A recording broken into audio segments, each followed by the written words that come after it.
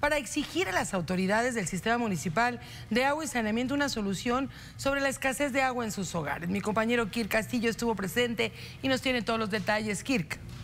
Muy buenas tardes, eh, Ruth. Te saludo con mucho gusto a ti y a toda la comarca lagunera para presentarles la siguiente información. Como bien ya lo adelantabas, Ruth, pues vecinos de la colonia Nueva Laguna Norte de Torreón se manifestaron bloqueando el Boulevard del Tajito para exigir, Ruth, una solución a pues la situación que además eh, generó largas eh, filas de tráfico afectando a los vecinos de los sectores aledaños por espacio de 40 minutos. De acuerdo a las inconformes señalan que pues eh, cuentan con más de seis años con esta problemática en la que únicamente la autoridad supuestamente se limita a brindarles apoyo a través de pipas cuando, bueno, pues si bien les va, sin embargo, lo que realmente solicitan es una solución en la red hidráulica, ya que ni con el uso de bombas RUT logran obtener el vital líquido en sus hogares, problemática a la que además pues se une la cantidad de quintas que dicen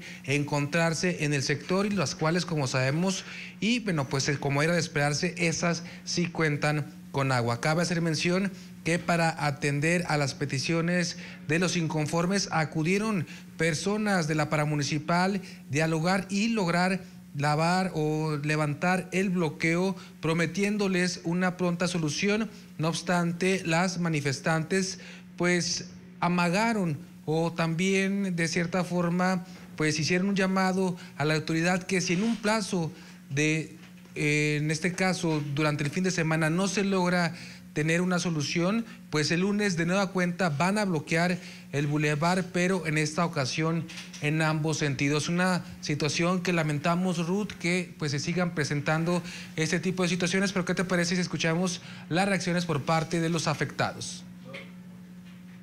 Ya tenemos viviendo sin agua seis años. Nos han mandado pipas, pero no es lo mismo, la verdad. ¿Y cómo le hacen? ¿O no sale de la red? ¿O cómo es? Es muy raro que salga agua. Y ahorita en temporadas de calor, ahorita como nos hemos fijado, está haciendo mucho calor y el agua se escasea horrible.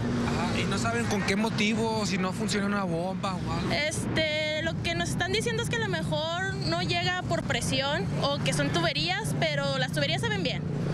Lo que es a las 7 de la a las 7 de la mañana les sale agua un ratito y agarran. A las 7 de la noche les vuelve a salir. Es lo que queremos nosotros, que nos la suelten un rato, no todo el día. O que nos manden las pipas. Pero las mandan nomás de aquí hacia allá. Y como ahorita se vienen las votaciones, pues nos bloquean el agua para que, para que votemos por ellos. Y no se vale, no se vale que de ahí se agarren los políticos para que quieran su voto. la situación sí, sí. Y siempre es en estas fechas cuando va a ser el, este, las votaciones. Las votaciones. se presentan. Las votaciones. Ruth, eh, también acudimos a Raimundo Rodríguez, quien es el gerente técnico del Sistema Municipal de Aguas y Saneamiento, quien luego de esta manifestación pues ordenó que pues el personal de la paramunicipal acudiera, atendiera precisamente a las inconformes y tras un diálogo levantar el bloqueo donde bueno pues se les informó que se va a solucionar esta problemática